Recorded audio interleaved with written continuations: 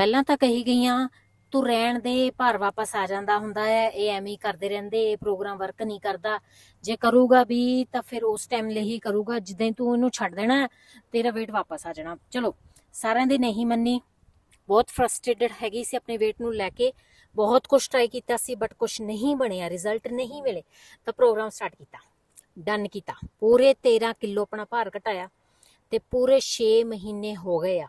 ਠੀਕ ਹੈ ਇੰਡੀਆ ਵੀ ਜਾ ਕੇ ਕੁੜੀ ਵਿੱਚੇ ਹੀ ਤੇ 6 ਮਹੀਨੇ ਦੇ ਵਿੱਚ ਫੰਕਸ਼ਨ ਪਾਰਟੀ ਸਾਰਾ ਕੁਝ ਅਟੈਂਡ ਕੀਤਾ। 1-2 ਕਿਲੋ ਉੱਪਰ ਥੱਲੇ ਹੋ ਜਾਂਦਾ ਸੀ, weight ਵਾਪਸ ਨਹੀਂ ਆਇਆ।